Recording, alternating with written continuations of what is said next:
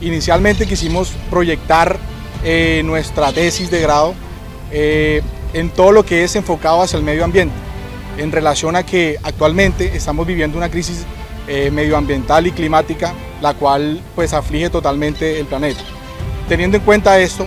abordamos como tal lo que es el transporte marítimo mundial, el cual es el 80% de los transportes se manejan por este medio. Aproximadamente 10 mil millones de toneladas de carga se mueven al año según la Organización Marítima Internacional.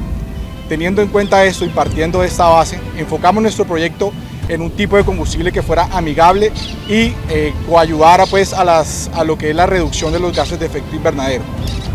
Partiendo de los objetivos de desarrollo sostenible propuestos por la ONU en 2016, eh, abordamos lo que es el objetivo número 7 y número 13. Base al Plan Estratégico de Transición Energética Gaia, quisimos implementar lo que son las necesidades y los objetivos de desarrollo sostenible, los cuales fueron como tal eh, invocados por el gobierno nacional. Lo que necesitamos y lo que necesita la Armada Nacional para el 2042 es una reducción del 51% de su huella de carbono a nivel institucional.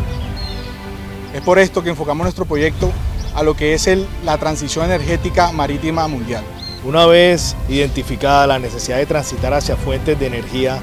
con menos emisión de gases de efecto invernadero, en concordancia con el Plan de Desarrollo Naval 2042, donde se manifiesta la necesidad de adquirir un remolcador de bahía para las unidades a flote de la Fuerza Naval del Caribe y del Pacífico, en alineación con el Plan Estratégico de Transición Energética Gaia, surge la propuesta de implementar un remolcador de bahía propulsado por gas natural licuado, siendo el gas natural licuado el combustible ideal para la transición energética nacional en cuanto a que brinda unos beneficios en sus emisiones de gas de efecto invernadero, en la autonomía para las embarcaciones tipo logístico y de empuje. Entonces iniciamos con la metodología de la espiral de diseño de Evans para llevar a cabo el desarrollo de nuestro remolcador. Partiendo de una serie de regresiones, obtuvimos las dimensiones iniciales, dimensiones que se alinearon a el DNEON, que es la descripción de las necesidades operacionales de la Armada Nacional. Ya partiendo de ese diseño base, optimizamos esto con estas formas con el software Mazor. Con el software Mazor también desarrollamos lo que es la potencia efectiva y la resistencia al avance, teniendo como premisa desarrollar 30 toneladas de tiro a punto fijo, empuje ideal, acuerdo a la LORA de las unidades tanto en el Caribe como en el Pacífico. Un desafío que enfrentamos era la ubicación del tanque de gas natural licuado, dónde ubicar o dónde almacenar ese tanque en condiciones quirogénicas a bordo de una embarcación. Es aquí donde decidimos que el espacio ideal es ubicado a proa, un compartimento adyacente, con un tanque con un volumen de 32 metros cúbicos, que nos garantiza esto, la autonomía de 500 millas náuticas y nos garantiza la potencia o el volar pool requerido de remolcador de 30 toneladas.